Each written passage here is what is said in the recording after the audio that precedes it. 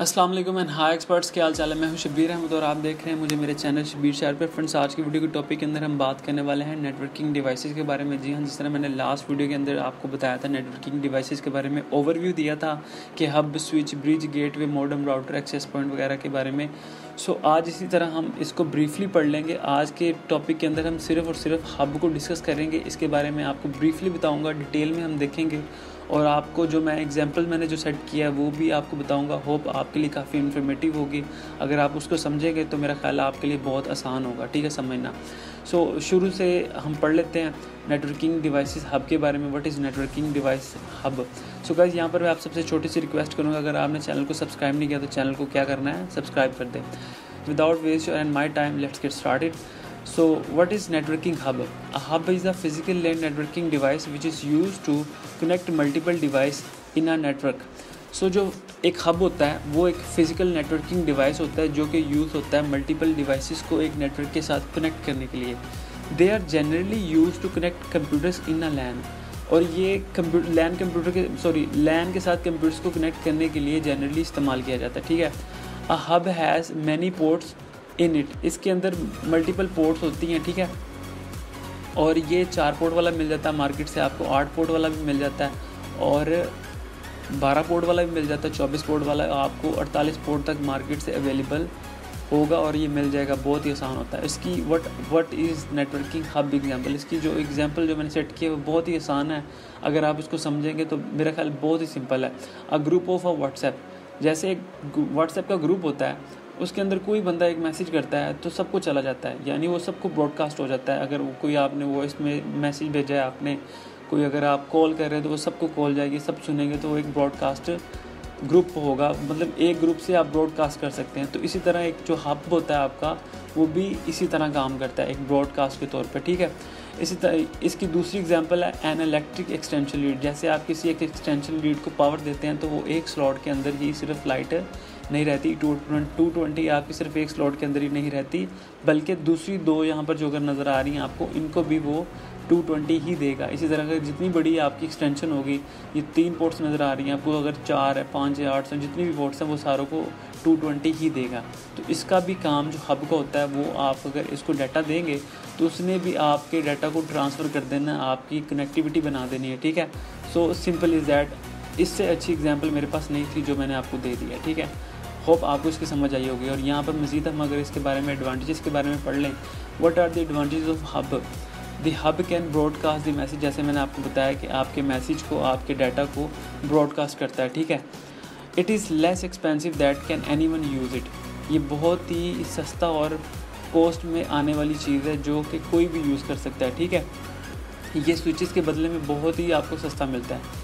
Easy installation इसकी, इसे install करना बहुत ही आसान है। आपने जैसे इसे पावर लगानी five volt twelve volt nine volt ये तीन तरह के वोल्ट्स में काम करता है।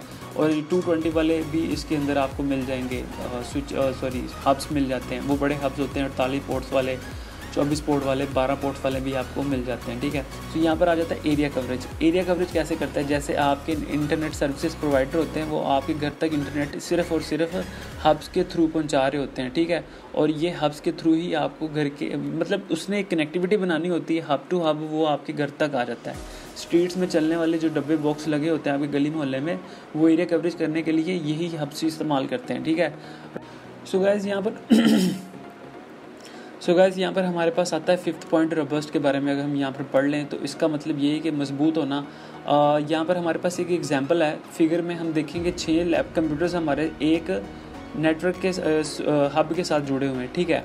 अगर तो हमारा कोई एक कंप्यूटर इनमें बंद हो जाए तो क्या हमारा पूरा का पूरा स्विच बंद होगा और ये बाकी के जो पाँच कंप्यूटर्स है, वो चलेंगे? जी हाँ बिल्कुल चलेंगे। क्योंकि एक सिस्टम अगर अपनी वजह से बंद है तो वो अपनी वजह से बंद है। बाकी के जो पाँच हैं वो चलते रहेंगे। उसमें कोई ख़राबी आ गई है क्रैश कर है कोई पावर इशू है वट एवर कोई भी इशू है तो क्या वो आपका जो स्विच है वो चलता रहेगा? जी बिल्कुल चलता रहेगा और ये पाँच कंप्यूटर्स को वो अपना मैसेज अपना डाटा ब्रॉडकास्ट करता रहेगा ठीक है? सो so, दूसरी इसकी एग्जांपल ये है कि यहाँ पर अगर स्विच में कोई पोर्ट उड़ जाती है जैसे यहाँ पर आपको छः पोर्ट्स नज़र आ रही एक दो तीन चार पाँच छः छः पोर्ट्स हैं, इनमें से कोई एक पोर्ट उड़ जाती है और एक आपका पीसी बंद हो जाता है। एक डाटा को, एक पीसी को डाटा नहीं जा रहा तो क्या बाकी के पाँच या दो उड़ जाती हैं पोर्ट्स तो बाकी के चार सिस्टम्स के ऊपर क्या डाटा आपका ट्रांसफ़र करेगा? डाटा आपका ब्रॉडकास्ट करेगा?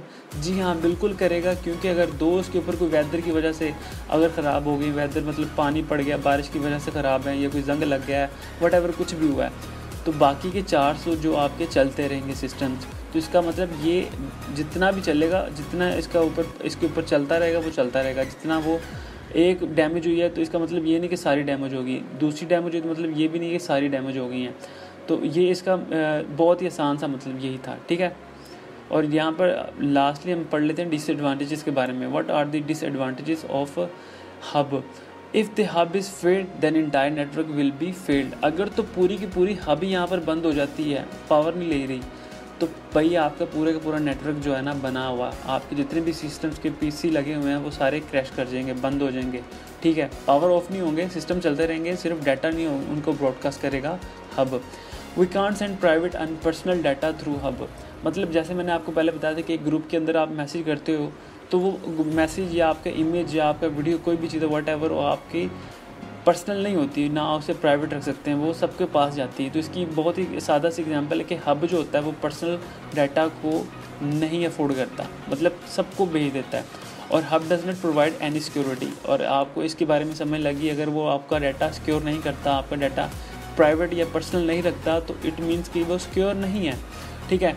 यहाँ पर पढ़ लेते हैं fourth point hub can't support full duplex transmission mode मतलब इसका ये कि हब जो होता है हब मोड के ऊपर आप डाटा को सेंड कर सकते हैं एक टाइम के ऊपर, या भेज सकते हैं या ले सकते हैं। मतलब अगर आपने डाटा सेंड किया तो आप डाटा रिसीव नहीं कर सकते अगर आप अगर आप डाटा रिसीव कर रहे हैं तो आप इसके ऊपर सेंड नहीं करते। सिंपल इज़ दैट ये डबल मोड के ऊपर काम नहीं करता, ठीक है? सो गाइज़ आई होप कि आज की वीडियो के अंदर आपने हब के बारे में पढ़ा, इसके डिसएडवांटेजेस पढ़ लिए एडवांटेजेस पढ़ लिया आपने इसको ब्रीफली देख लिया और इसके बारे में मैंने जो आपको एग्जांपल्स दिए होपफुली आपको समझ आई होगी। अगर आपको समझ नहीं है या तो आप कमेंट सेक्शन में कुछ भी आपकी क्वेरी है, कुछ भी आपका सवाल है तो आप पूछ सकते हैं। आई होप आपकी वीडियो अच्छी लगी वीडियो अच्छी लगी तो वीडियो को लाइक करके चैनल को सब्सक्राइब कर दीजिएगा। थैंक यू सो मच मिलते हैं किसी नेक्स्ट वीडियो के साथ। अपना ख्याल रखिएगा। अल्लाह हाफिज़।